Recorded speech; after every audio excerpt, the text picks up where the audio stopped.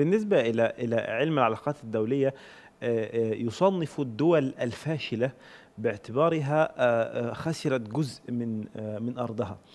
حتى الآن خبراء علم العلاقات الدولية لم يصنفوا أوكرانيا بدولة فاشلة لأن الحرب مستمرة. هل روسيا بعد هذه الحرب بأي شكل من الأشكال سواء أخذت ما أرادت أو لم تأخذ ستعتبر دولة فاشلة؟ روسيا لا نستطيع أن نقول دولة فاشلة، إنما هي دولة استبدادية عقلية عسكرية منغلقة على ذاتها، وأيضًا هذا خطأ، أوكرانيا بدأت تخسر جزء كبير جدًا من سيادتها، لأن الدولة تقوم على 4 مرتكزات، الأرض، الشعب، السلطة، السيادة، وتتمك وتتحكم السيادة في مكانة الدولة في قرارها الخارجي وسيطرتها على أراضيها، مما يضعها على المكانة الدولية. آآ، في حين أن عندما ننظر إلى رفع الواقع السياسي سواء لروسيا أو أوكرانيا، نجد أن أوكرانيا بالفعل خسرت وهي الخاسر الأكبر في هذا الصراع الدولي، خسرت مناطق القرم، خسرت شرق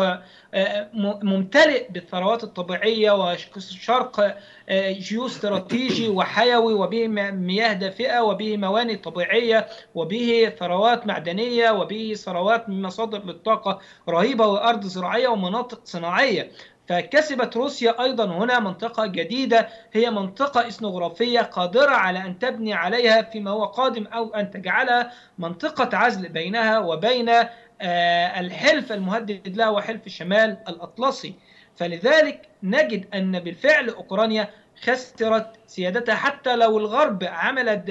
دعاية بأن أوكرانيا كسبت وخسر بوتين الرهان وغيره، لكن في يعني على كما كما يقول الواقع كما يقول الكثيرين أوكرانيا خسرت وأيضًا روسيا خسرت، ولكن الفائز الوحيد في هذه الحرب هي الولايات المتحدة الأمريكية، يعني ثم تليها تركيا. آآ، دكتور عبد اللطيف مشرف يعني كم كما يقول الكثير ر